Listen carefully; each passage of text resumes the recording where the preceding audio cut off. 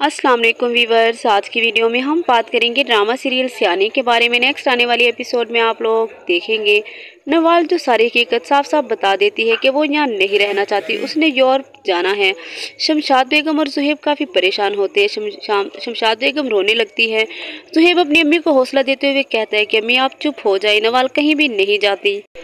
नवाल बिल्कुल भी किसी का एहसास नहीं करती, बल्कि और भी शमशाद बेगम को सुनाती है कि देखे, मैं यहाँ नहीं रहूँगी। आपने ये जो रोना धोना रखा हुआ है, ये आप अपने पास रखे आपकी खातिर मैं अपनी पूरी ज़िंदगी वेस्ट नहीं कर सकती। ये तो मेरी हिम्मत थी कि मैंने इतने दिन आप लोगों के साथ गुजार दिए, आपकी कड़वी और अच्छी बातें सुनी। जुहेब कहता है कि देखो नवाल, फ़िलहाल इस वक्त तुम चुप हो जाओ, क्योंकि मेरी मामा इस कंडीशन में नहीं है कि तुम्हारी हर बात का जवाब दे सके। नवाल, देखो जुहेब, मैं तुम्हें बता चुकी हूँ कि मैं तुम्हारे साथ नहीं रहना चाहती। तुम मुझे अभी और इसी वक्त डिवोर्स दो, ताकि मैं अपनी ज़िंदगी आज़ादी से बसर कर सकूँ। तो ये सब आप देखेंगे आने वाले एपिसोड में।